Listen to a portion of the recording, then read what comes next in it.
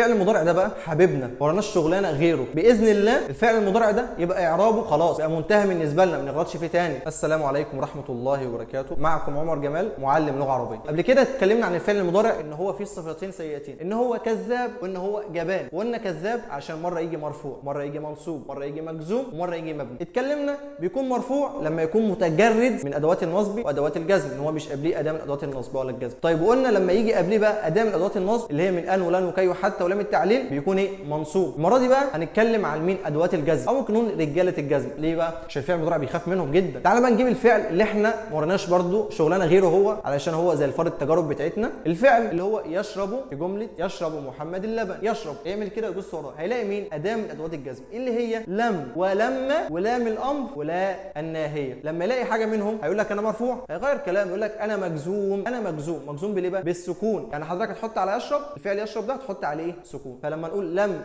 يشرب محمد اللبن يشرب تبقى اعرابها إيه؟ فعل مضارع مجزوم وعلامة جزمه الايه السكون. طب أسألك سؤال. أنا هشيل لم دي خالص وأسيب الفعل المضارع لوحده يشرب من غير أداة من ادوات الجزم دي. هيبقى اعرابه إيه؟ هيرجع اعرابه مرفوع تاني. يقول لك أنا فعل مضارع مرفوع. ليه؟ عشان مش وراه ولا أداة جزم ولا أداة نصب. لو عاوز تكمل معايا بقية الدرس تقدر تحجز معايا عن طريق نفهم باي طيرو dot com أو ابعت لنا رسالة على إيه؟ على الفيسبوك.